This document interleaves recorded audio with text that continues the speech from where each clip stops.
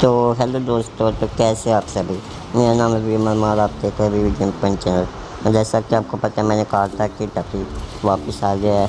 लेकिन टफी के साथ क्या हुआ था और क्या सिचुएशन थी और मतलब टफी वापस कैसे आया?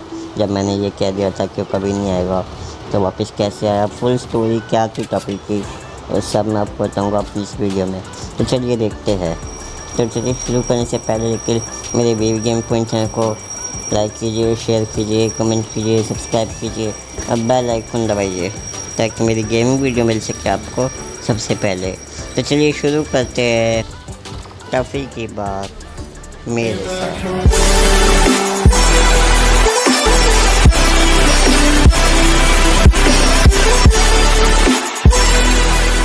तो एक्चुअली यहाँ पे हुआ क्या था? अगर मैं आप लोग को बताऊँ तो जो टफ़ी था वो मतलब आठ अगस्त की बात है तो हम लोग पहले से काफ़ी मतलब मॉम जो थी और डैड जो थे, काफ़ी टाइम से प्लान बनाए थे टपी को कहीं भेजने के लिए।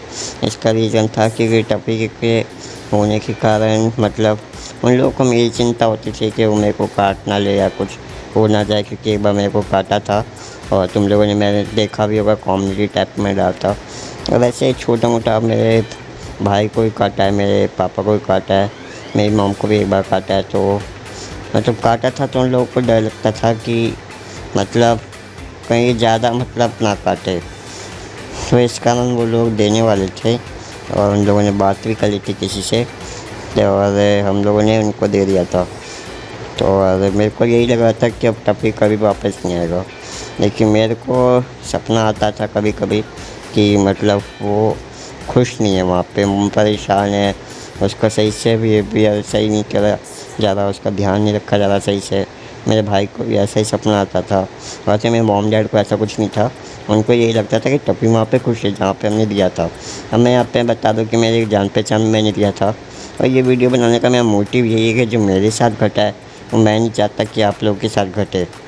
तो इसलिए मैं आप लोगों के सामने की पूरी बात बता रहा हूँ। जब हमने दिया था तो मतलब बिल्कुल भी हमें नहीं लगता था कि कुछ ऐसा रखा जाएगा उसको। तो मतलब मेरी मॉम जो थी, उनके सामने की बात है कि वो जो है टपी जो है, हमने मतलब वहाँ पे गए, क्या कहते हैं, उसको दिया टपी को। और मैं घर वालों का मन मान गया सच बताऊँ देने के लिए। मेरा मन नहीं था बाद में। मैं पहले सच बताऊँ तो मैं टपी नहीं चाहता था क्योंकि मुझे लगता था कि गेम प्ले मेरे को डिस्टर्ब करेगा या फिर काफ़ी भोंकेगा या जो भी मेरे को लगता था। मेरे को पहले इतना प्यार नहीं था उससे। लेकिन ज़ाहिर है कि मेरे को उससे प्यार हो गया था मेरे को उससे कोई प्रॉब्लम नहीं थी। तो उसके बाद जब टफ़ी मतलब गया तो मेरे को, मेरे भाई को बहुत दुख हुआ। और हम लोग मतलब ठीक है घर वालों के सामने तो खुश रहते थे, लेकिन हम जानते थे कि क्या गलत है। लेकिन एक बार मेरे भाई को बहुत बुरा सपना आया टॉपिक को लेके कि टॉपिक को बहुत परेशान करता है, जिसको हमने दिया है। और मेरा भाई पूरा चिंतित हो गया था उसको लेके। तो हम लोग उस दिन गए। तो उस दिन जब हमने देखा तो हम लोग रह नहीं पाए, जिस तरह से इसको टॉपिक को रखा गया था।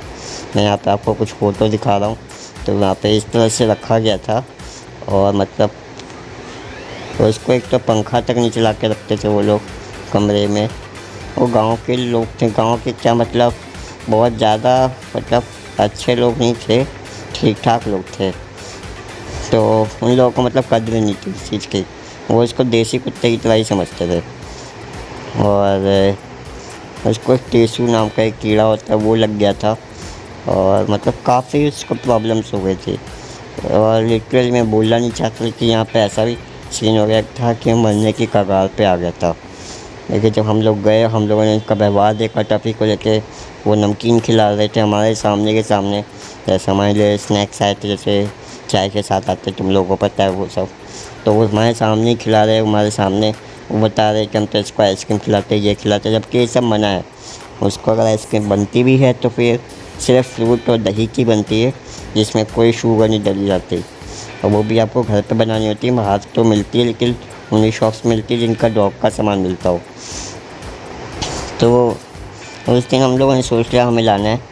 लेकिन उस दिन हम लोगों नहीं ला पाए किसी कारण से क्योंकि हम प्लान बनाए थे कि ये इतना बड़ा फ़ैसला था कि इस मामले में कहना भी बड़ी बात थी घर वालों के आगे।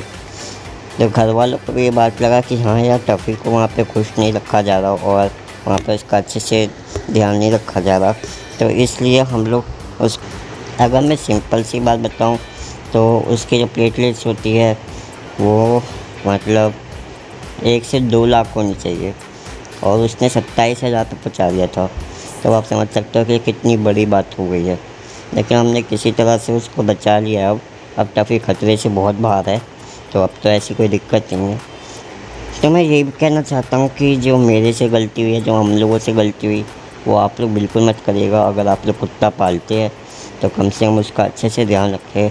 उसके सारे नियम कानून को फॉलो करें कि इसको क्या खिलाना क्या नहीं, ये नहीं कि आप कुछ भी खिला रहे।